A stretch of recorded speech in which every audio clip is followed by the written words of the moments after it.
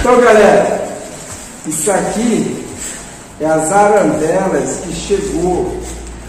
Quem não viu o vídeo anterior, eu fiz o local onde ia colocar as arandelas no Bozerri. E hoje chegou as arandelas. Vamos, eu falei que eu não podia colocar uma caixa 4x2 porque as arandelas era muito estreita. E, e bota estreita nisso, né? Parece mais um, um canudo. Vamos ver essas arandelas, como é que é. Hoje vai ser instalada as arandelas. Né? E é um canudo mesmo, hein? Olha o formato dessas arandelas.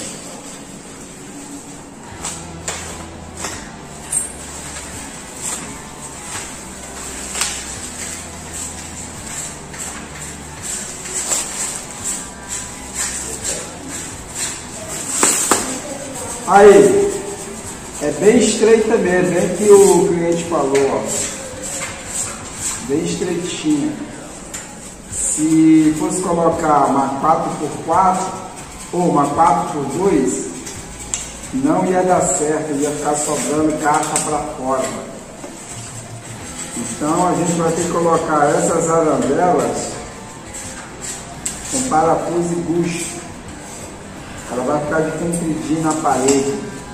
Ela vai ficar na vertical. São duas lâmpadas. Uma lâmpada vai aqui e a outra lâmpada vai aqui. Mas a pergunta é que não quer calar. Cadê as lâmpadas? Não veio. Esse lâmpadas. Vou colocar e como é que eu vou testar, né? Aqui a outra arandela, vamos abrir também. Né? As duas arandelas vamos instalar agora nos bozerri.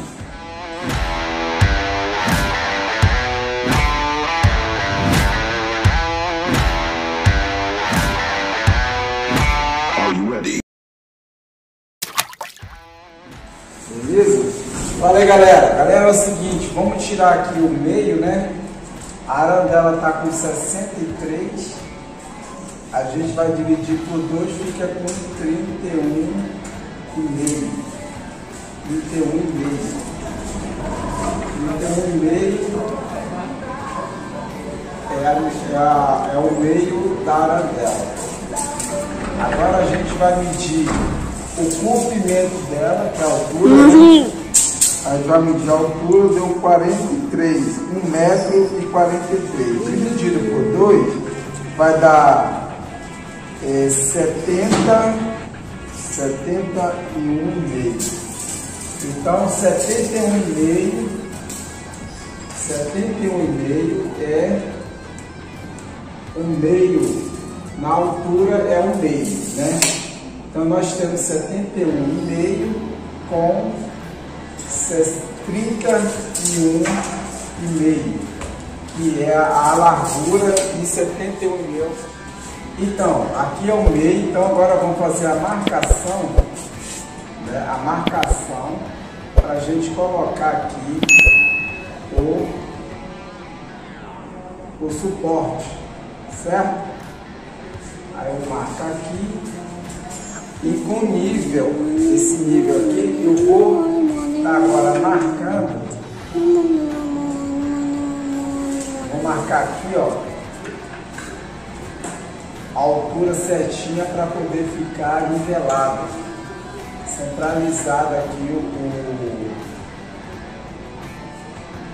a arandela, para não correr o risco dela ficar torta. Aí eu venho aqui, ó, aqui, ó, aqui é a marcação e aqui é outro, ó.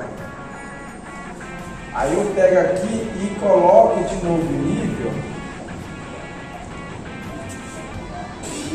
pra gente fazer uma cozinha certinha. Aqui, ó. Aqui é a cozinha ó.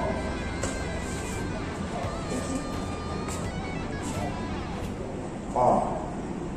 Aqui é a cozinha E aqui eu vou fazer outra cozinha porque no meio da cruz onde eu vou fazer a furação, a furação para colocar o suportezinho preso no parafuso e bucha. Então é isso aqui, ó, galera, ó. Tá vendo? Eu acertei essa cruzinha aqui.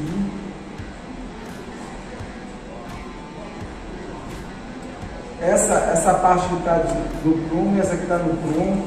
E essa aqui que passa na horizontal está de nível. Agora vamos fazer dois furos para nós colocarmos a bucha 6, duas buchas 6.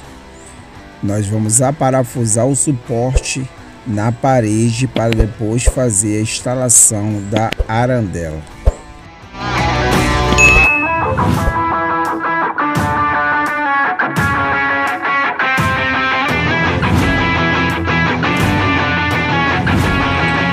Saindo do conduíte na parede, nós temos um fio azul e um preto.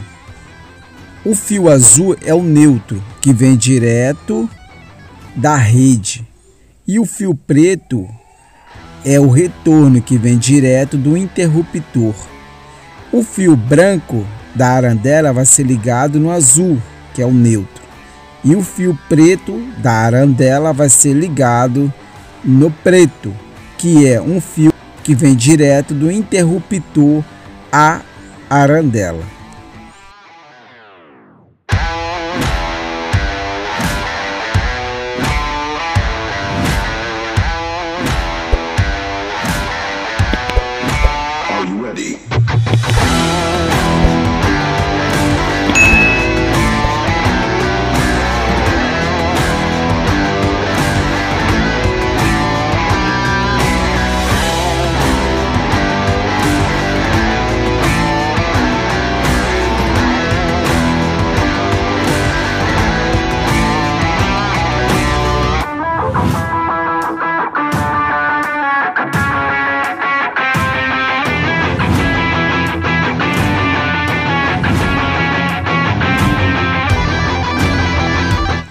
Arandela ela vem com dois parafusos, um em cima e outro embaixo. O suporte vem com duas abasinhas para entrar o parafuso, que vai ser rusqueado nessas duas abas para fixar a arandela. Nessa parede ficou um pequeno buraco entre a arandela e a parede, mas não tem problema nenhum, porque eu vou botar um gesso, uma massinha lixar e dar um retoque com tinta e vai ficar perfeito.